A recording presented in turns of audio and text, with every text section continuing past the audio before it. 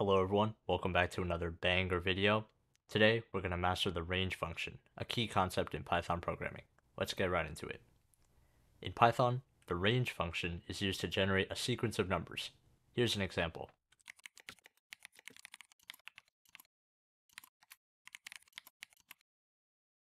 The range 10 function right over here generates numbers from 0 up to, but not including 10.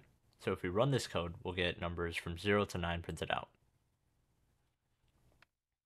What if we wanted to start from a different number?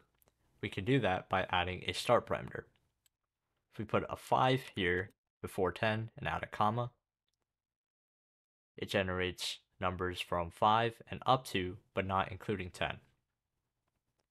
What if we wanted to go in steps or skip numbers? We can specify that with the step parameter. So change this to this time we're going to change it to, we're going to use range 0, 10, and 2, which means that it starts at 0, stops before 10, but goes in steps of 2. So if we run this, we'll get 0, 2, 4, 6, and 8. But what if we wanted to generate a decreasing sequence of numbers? We can do this by using a negative step. So if we just turn this into a negative and flip the 10 and 0, we will get 10, 8, 6, 4, and 2. Steps of negative 2.